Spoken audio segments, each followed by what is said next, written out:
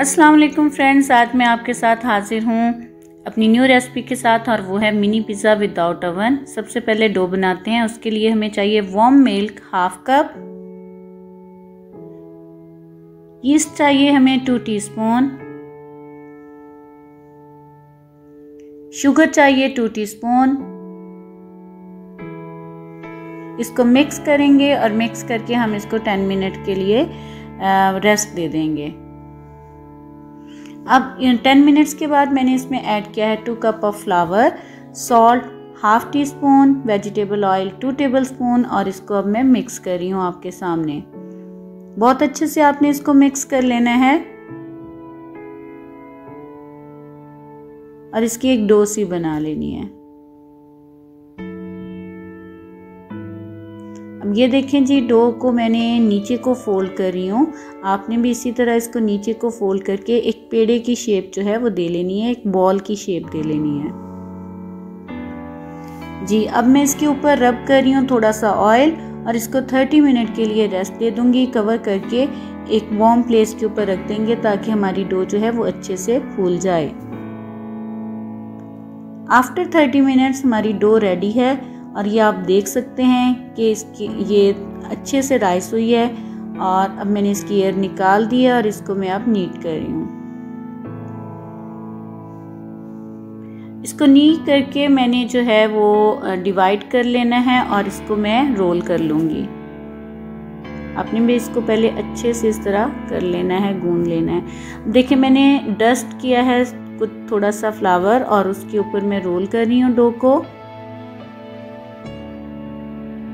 अब एक कटर लेके इसको कट कर लेंगे। और मिनी पिज़्ज़ा की बेस जो है वो रेडी हो जाएगी। जितनी सारी डो है उसको इसी तरह बार बार रोल करके आप इसको जो है वो कट कर लें।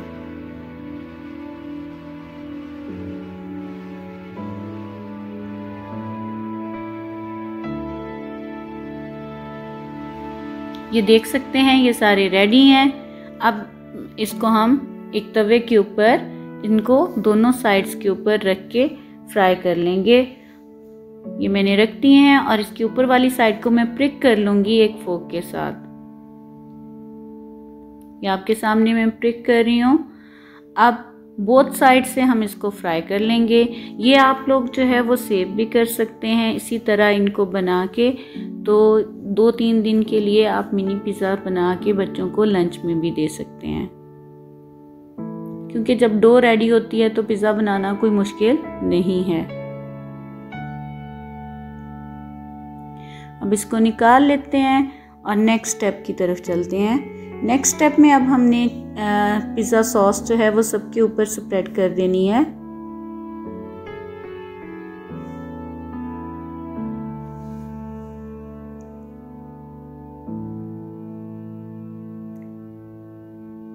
इसके बाद जी मैं स्प्रेड कर रही हूँ मोजरीला चीज़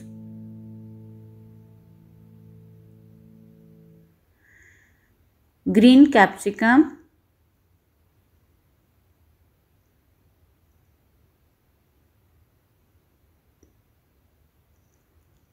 इसी तरह आपने सारी वेजिटेबल्स जो हैं वो स्प्रेड कर लेनी है. अब मैं टोमेटोज़ कर रही हूँ.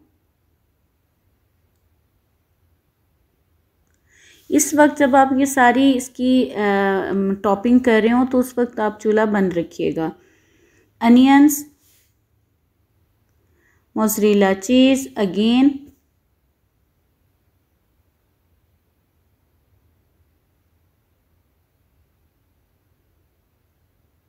Shred chicken है और इसको मैंने बॉईल करके, श्रेड करके तो इसको मैंने थोड़ा सा फ्राई कर लिया था, ब्लैक पेपर और नमक डाल के। अब इसके ऊपर मैं चिली फ्लेक्स जो हैं, वो थोड़े से स्प्रेड करूँगी और थोड़ा सा चीज़ और ऐड करूँगी। अब इसको हम कवर कर देंगे फाइव मिनट्स के लिए कुक कर लेंगे। फाइव मिनट्स हो चुके हैं, अब मैं आपको इसका कवर उतार के दिखाती हूँ। ये देख सकते हैं, हमारे पिज़्ज़ा जो है, वो बिल्कुल रेडी हैं। अब इसको सर्व कर लें। देखें जी, कितने मज़े का पिज़्ज़ा रेडी हुआ है। बहुत हॉट है अभी। इसको सर्व करें, बच्चों को लंच में दें, बहुत मज़े के बनते हैं और बच्चे बड़े शौक़ से खाते भी हैं इसको। और अगर आपको मेरी रेसिपी पसंद आई हो तो प्लीज़ लाइक कीजिए शेयर कीजिए और सब्सक्राइब कीजिए। अपनी दुआओं में मुझे याद रखिएगा, अपना बहुत सारा ख्याल रखिएगा। अल्लाह हाफिज़।